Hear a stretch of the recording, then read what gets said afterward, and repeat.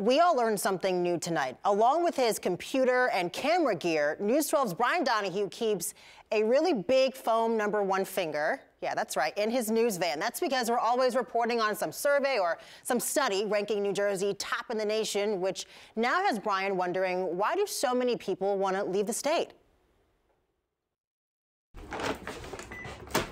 Here's what happens every day in my house when we feed our two cats, Iggy and Jupiter. To keep them from fighting over food, Iggy gets fed on the basement stairs landing with the door closed. Jupiter gets fed in the kitchen. But halfway through dinner, this happens. Both of them scratching and meowing and just dying to see what the other one got, even though it's the same food every day. What's he eating? What do you think he's got? And it reminds me of New Jerseyans. Let me explain. See, at least once a week, something like this lands in my inbox a study that ranks New Jersey among the best states for some quality of life factor.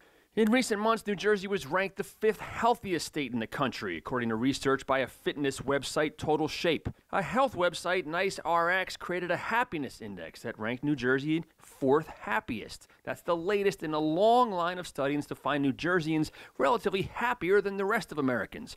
The CDC finds we have the lowest suicide rate in the country. U.S. News ranks us number one in education. Almost every study by almost every standard, New Jersey is the best or among the best places to live in the country. And yet, polls show more and more of us want to get the heck out of here, envisioning something better behind that door.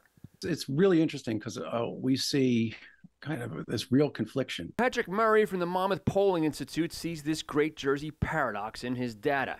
Despite all the high rankings, 59% of New Jerseyans polled said they plan on leaving at some point, the highest levels in forever. And we ask those questions, people say, I really like New Jersey. It's a great place to live. It's a great place to raise a family. There's a lot of opportunities here.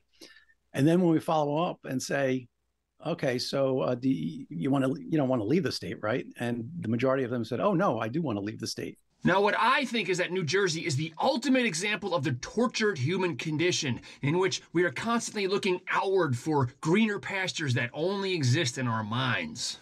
Our esteemed Monmouth University pollster does not agree with me. He says it just comes down to money. People love it here, but they don't know how they'll afford to buy their first home or retire here.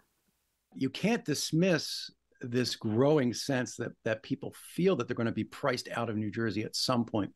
So maybe it's a better analogy if I'm the one, not the cat, taking my meals and living in the basement which just might happen if I start to rent out the rest of the house so I can afford to keep living in the greatest state in the land. Hey, who needs Florida? I'm Brian Donahue. That's positively New Jersey.